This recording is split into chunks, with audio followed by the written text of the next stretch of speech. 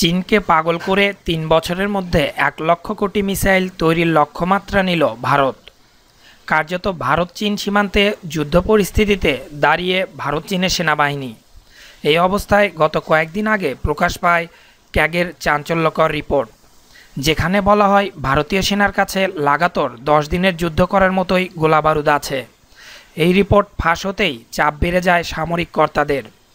যদিও এরপরেই কেন্দ্রীয় প্রতিরক্ষামন্ত্রী অরুণ জেটলি জানান, বিচলিত হওয়ার কিছুই নেই।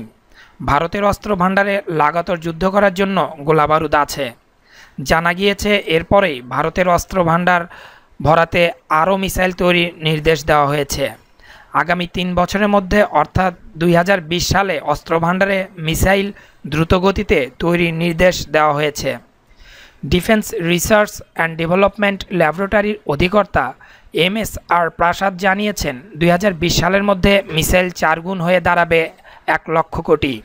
ফলে আগামী তিন বছরের মধ্যে কয়েকগুণ মিসাইল চলে আসবে ভারতের অস্ত্র ভাণ্ডারে শুধু তাই নয় আকাশ মিসাইলকে আরও উন্নত করতে দুইশো পঞ্চাশ কোটি টাকা বিনিয়োগ করা হয়েছে গবেষণার কাজে। ফলে আগামী কয়েক বছরের মধ্যেই একটি শক্তিধর রাষ্ট্র হিসেবে পরিণত হবে ভারত।